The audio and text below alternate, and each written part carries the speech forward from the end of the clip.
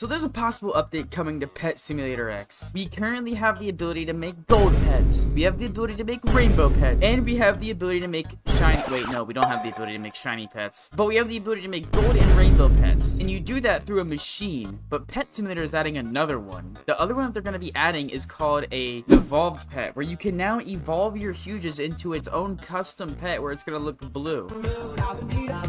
Let me know what pet you guys are going to evolve first in the comments when this comes out, man. Because, like, it seems really cool. I'll see you guys all in the next video. Make sure you guys join the Box Army and subscribe. Bye-bye.